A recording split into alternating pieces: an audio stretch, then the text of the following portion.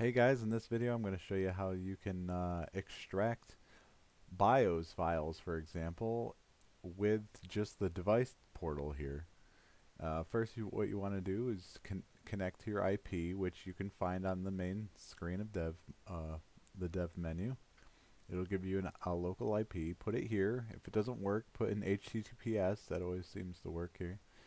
And then once you're connected, um, go to File Explorer, go to Local App Data, now it doesn't have to be BIOS, but it's just an example. Anything that you put here will automatically extract zip files, and I never knew this. So I'm going to go to RetroArch here. I'm going to go to local state and go to system. Now normally you'd go to choose file, you know, pick one BIOS, upload, choose another one, upload. But all you have to do is choose file,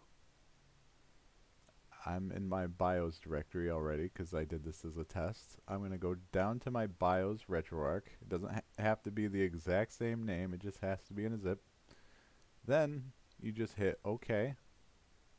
Okay, and then hit upload. And it'll say extract zip file contents to this directory. Put OK. And there you go. It didn't upload the zip file, it extracted it. So that way you don't even have to, you know, if um, FTP isn't working because it's empty or something, just do that for uh, zip file. Now, if you have a major zip file and you hit upload and it doesn't do anything, give it some time because there is no um, progress bar here. There never was. So just give it some time and it'll finish.